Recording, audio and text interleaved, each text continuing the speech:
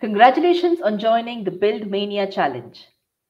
NASSCOM Future Skills Prime, KPR Institute of Engineering and Technology, and OpenWeaver are proud to collaborate in this interesting practical challenge. The Build Mania Challenge is designed to provide you an opportunity to apply the concepts you learned in the FSP Acquiring Data course and build industry relevant data solutions. This challenge has been divided into two parts Part 1 coding exercises and Part 2 application development. This video showcases how you can complete Part 2 of the Build Mania challenge by developing your own application. For Part 2 of this challenge, you are required to build a recommender system of your choice, for example, a course recommender system for an EdTech platform, or a music recommender system, or a product recommender system for an e-commerce platform or anything similar to that. Once you're done developing your recommender system, you will have to create a kandi kit and submit the link of the kandi kit in the final challenge submission form. To help you get started with this, we have provided you with a starter kit. This is a movie recommendation system starter kit, which provides movie recommendations to users using Pandas library and applying the concept of collaborative filtering. So let's go ahead and take a look at this movie recommendation system starter kit. This is a one-click solution kit, which means in a single click, you will be able to download and install and run this entire kit right up to seeing a complete working solution. This one-click uh, kit has all of the dependencies and resources that you will need to be able to download, set it up, and run. So you will not be required to download anything else but for just clicking on this one-click kit installer. If you'd like help or support in using this kit or downloading and setting it up, we have provided you with a five-minute tutorial on how you can go about uh, setting up this movie recommendation uh, system kit and using the entire kit. So go ahead and feel free to watch that five-minute tutorial and use this movie recommendation system as a starter kit to developing your customized recommendation kit for this challenge. Once you have used the starter kit provided to you, you can go ahead and customize the solution by feeding your own data set depending on the recommender system that you're looking at building. You will then have to create a kandi kit for that recommender system that you're creating and submit the link of the kandi kit in the final submission form. Now let's walk you through some very simple steps on how you can create a kandi kit for submission. To get started, let's head to kandi.openweaver.com.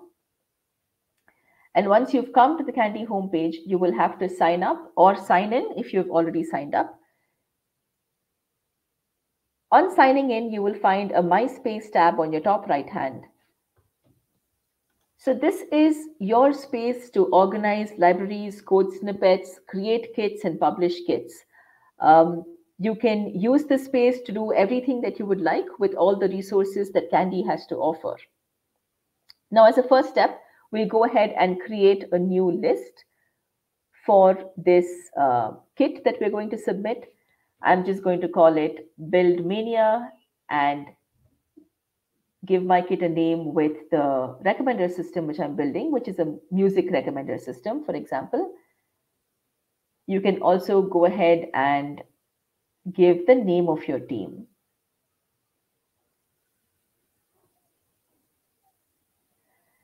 This section below allows you to provide a description about your kit. So go ahead and use this space to describe what kit you have built. You can also go ahead and provide more details about how you came up with the solution repository or anything else that you would like to add for us to know about the solution that you have created. This will really help us when we go ahead with the judging process for this challenge. Um, we also provide a feature for you to be able to add an image. So you can be creative and use the space um, as well as you would like to. Once you've provided a little bit of a description, please go ahead and go to the next step, which is adding your solution repository to this kit. So this is the most important step, right, in creating your kandi kit. To be able to find your solution repository on kandi, you should have already uploaded this solution repository on GitHub. if you are not familiar on how to create a GitHub account or how to upload your solution repository on GitHub, we have provided you with a link which will outline a few very easy steps on how you can create a GitHub account and how you can upload your solution repository onto GitHub. This is a very important step because we will be able to find your repository on kandi only once it has been uploaded on GitHub because we take it from GitHub. So go ahead and upload your solution repository on GitHub. And once that is done, you can get back to your kit page and search for the for, for your specific solution. And the easiest way to search for it is possibly looking for the author. So look for the author or for the solution repository name. And if you have uploaded it in your GitHub account or your team member's GitHub account, you can go ahead and search for it using their, uh, their name and then look under libraries and find your solution repository. Once you found your solution repository, please go ahead and hit save. By doing this, you actually save it to your MySpace. Now in your MySpace, you will find your solution repository. You can then move it to the kit page that you have just created for this challenge.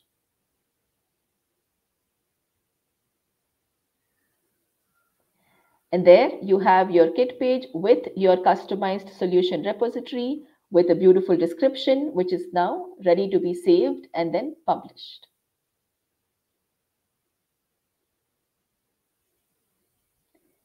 You can view your kit by clicking on that link. And this is now your kit that you have published on kandi for everybody else to be able to see and enjoy. So please share the link of this kit in the final submission form. You can also edit this kit after the challenge if you'd like to further build on top of it or work with your team members and further develop the solution that you have built. Please feel free to go ahead and do that. But more importantly, you can go ahead and share this kit that you have created with all of your classmates, friends, your network. And it's a great way to get started in your application development journey. Uh, I hope this video helped you in creating a kandi kit, and I hope kandi helps you in building your applications faster. So thank you very much and all the best.